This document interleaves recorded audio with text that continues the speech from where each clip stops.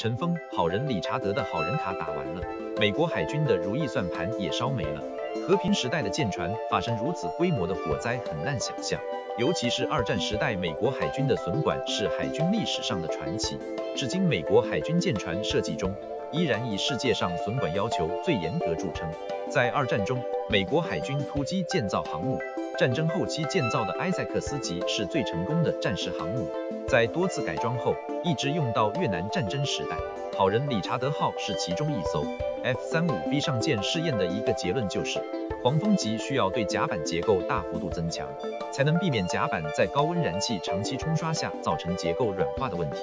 然而，航母之所以存在，是为了进攻。好在凡事总有个但是，必须从遥远的陆基基地出动预警机。加油机和电子战飞机前来支援，不然不如从本舰出动更加直接可控。但预警机、电子战飞机在工作时，本来就应该远离舰队，以免对方轻易推算出舰队的位置。难说在战时冲绳的加手纳基地能生存多久，但以大型民航机为基础的预警机具有足够的航程，即使需要从更远的日本本土起飞，依然在西太平洋的海空有可用的留空时间。足够支援 F-35B 的作战，但好人理查德号的一把大火可能把这个梦想烧没了。指挥好人理查德号的第三远征打击群司令菲利普·索贝克海军少将在通报中说道：“根据水兵报告，火情从雾舱底部开始，烈火蔓延到全舰，最高温度达到五百四十摄氏度以上，舰桥受到严重损坏，前桅杆已经烧塌，部分舰体有烧穿的迹象。